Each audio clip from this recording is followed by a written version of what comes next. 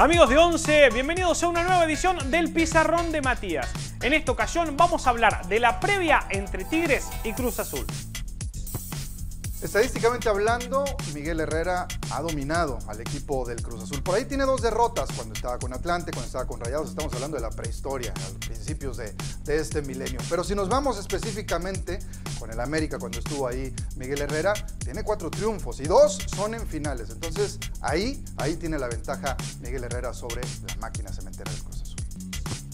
¿Por qué necesita el triunfo en la ida? Porque Tigres en su casa no anda bien cada vez que le toca enfrentar a Cruz Azul. Desde el 2014 que no se queda con los tres puntos, seis empates, tres derrotas, por lo que el resultado de la ida pasa a ser más determinante que nunca. Eso sí, juega con la ventaja y eso no es poco.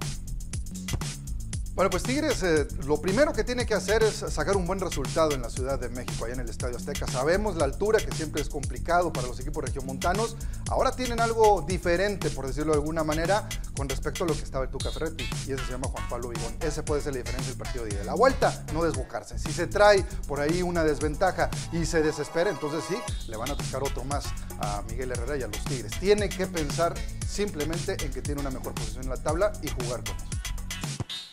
Esto es lo que tienen que saber de cara a este cruce de cuartos de final. De más está decirles que sigan la cobertura en las redes sociales de 11 Diario MX, 11diario.com. Nosotros nos vemos en la próxima edición del Pizarrón de Matías.